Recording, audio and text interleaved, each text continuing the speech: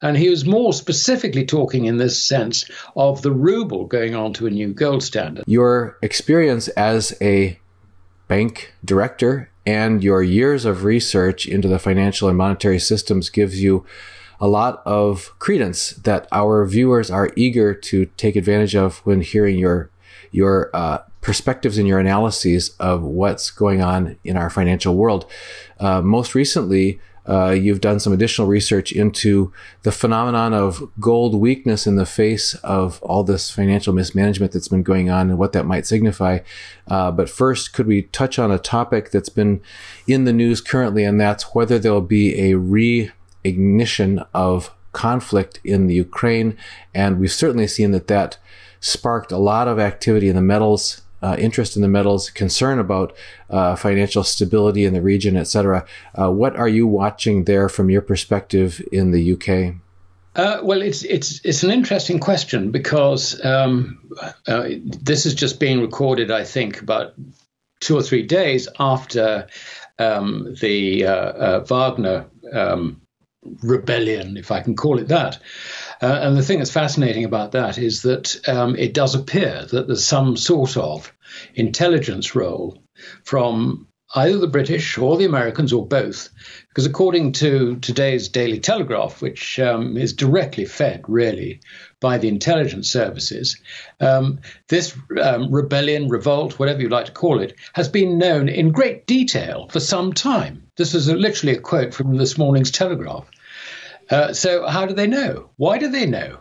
I mean, it raises the question as to whether this was actually just um, something that was put up by um, our intelligence services trying to undermine the unity between the shock troops, if I can call them that, um, uh, of the Wagner lot and um, and uh, the Russian army. So um, that has now been put to bed. And uh, I mean, we don't know for certain. I think it's quite likely that um, the defense ministry in Moscow took the view that um, they have now finished using the Wagner troops, division, whatever you like to call it, uh, and uh, therefore the um, mercenaries' contract has effectively come to an end on that particular um, activity. Now, of course, Wagner does have um, other um, activities uh, for Russia, particularly in the Middle East and also in uh, Africa. Um, they're known to be active in the Sudan, Central African Republic, uh, Chad. Um, possibly even Mali.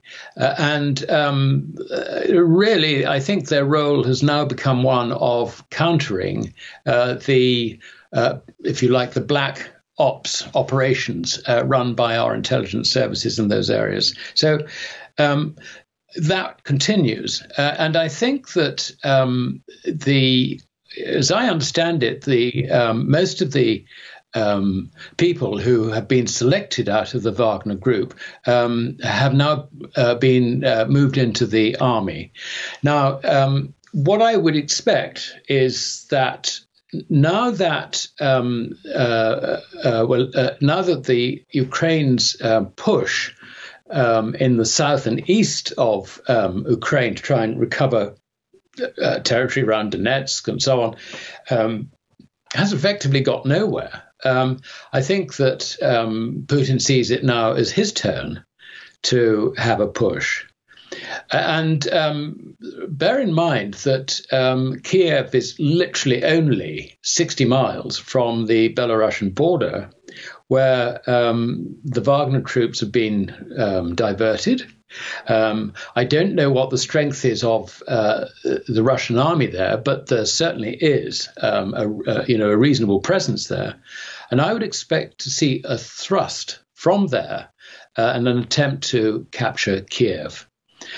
I think this is desperately important because, I mean, the reason I think this is likely to happen in particular is if you look at um, what's been happening to the ruble on the foreign exchanges, what's been happening to bond yields, um, Russian bond yields, uh, and uh, if you look at also at the way in which the um, uh, the balance of payments surplus has been coming down, it's come down really quite dramatically.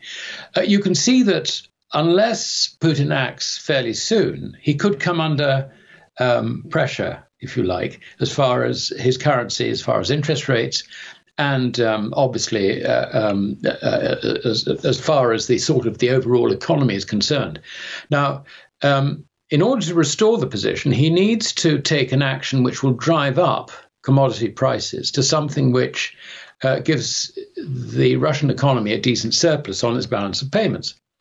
And of course, this would fit in very nicely with um, a counterattack after the failed Ukrainian um, uh, attempt um, uh, to drive the Russians back.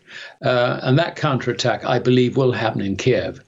In terms of timing, I think it could happen quite quickly uh, for two reasons. Firstly, um, the Ukrainian forces are about 400 miles away, and it will take time for them to be regrouped, if you like, to protect uh, Kiev. That's that's the first thing. The second thing is that um, we have on uh, August the 22nd to the 24th uh, the new BRICS summit in Johannesburg in South Africa. And uh, I suspect that there will be developments there which will tend to undermine Western currencies. Now, I'm specifically referring to um, what I would suggest is only outline um, proposals, maybe not even that, but a statement that, of intent uh, about BRICS producing a new uh, trade settlement currency.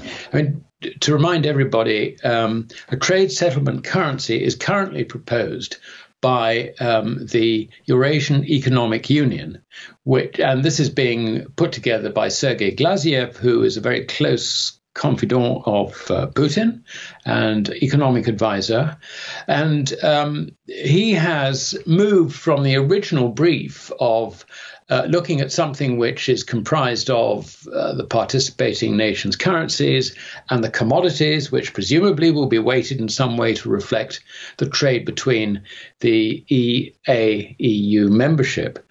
Now, that was obviously um, not going to happen. And uh, we had um, last December an article written by Sergei Glaziev in uh, a Russian business magazine called uh, Vedomosti, um, where he quite clearly laid out that the answer to all this is gold. And he was more specifically talking in this sense of the ruble going on to a new gold standard.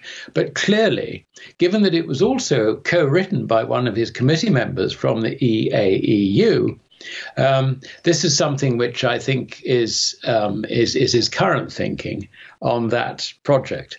Now, I would expect that project to be expanded to encompass not just the EAEU, which might have run into political difficulties because of the small number of um, uh, the Central Asian states that are, are, are, part of the EAEU, into a wider um, uh, uh, membership. And I think this, this would encompass the Shanghai Cooperation Organization and also um, uh, BRICS. And BRICS is expanding. Uh, there are a number of uh, countries which have actually uh, filed for membership. Um, there are um, a whole host of other countries that have expressed interest, either in membership or interest in you know some sort of association with BRICS.